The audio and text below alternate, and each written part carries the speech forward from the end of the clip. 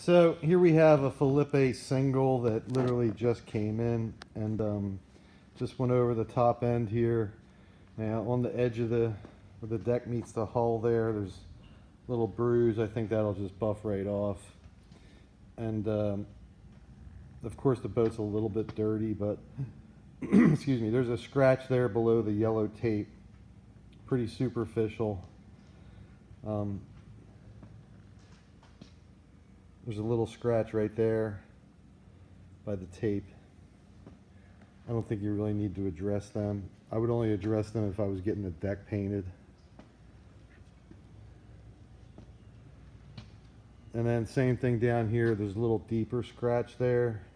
You can see it in the glare above the tape. Really not that serious. And then um, down here, there's a little decent paint chip out of the edge there. Actually goes into the blue stripe a little bit. You can see in the glare there.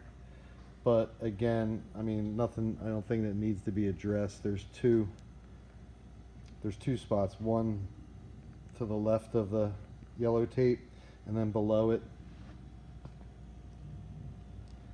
Although, and we're gonna clean this thing up, the top end, anyway, and um,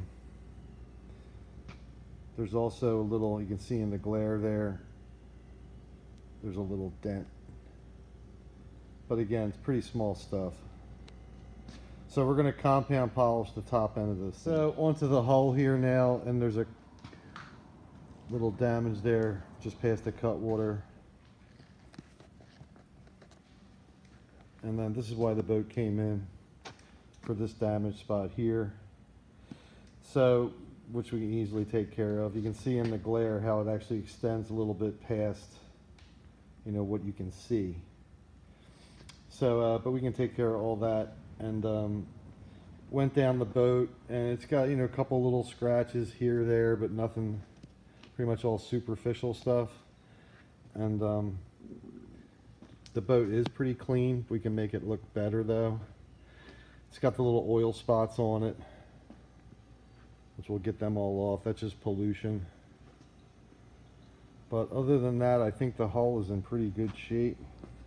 All things considered, the boat is like nine years old, I think. So there's a little nick in the stern there. And then I guess the fin must have been not so tight because it looks like there's a piece of tape in there to keep it tight.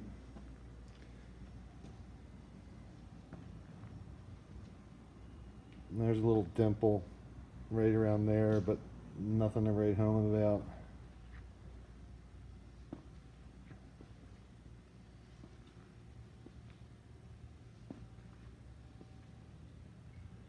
So another perspective of that damage there.